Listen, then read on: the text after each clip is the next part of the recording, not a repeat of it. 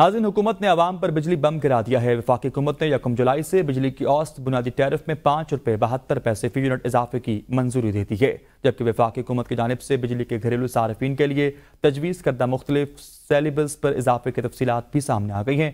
مزید جانتے ہیں اسلام آباد سے شاہد اجمل کی اس رپورٹ میں۔